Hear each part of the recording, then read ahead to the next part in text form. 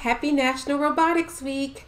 I'm Carlotta Berry, Professor of Electrical and Computer Engineering at Rose-Hulman Institute of Technology, and I'm also a member of Black in Engineering and Black in Robotics. And today's video for day nine is all about my high school students and some of the projects that they do, robotics and not robotics related, as they learned about the engineering design process. I hope you enjoy.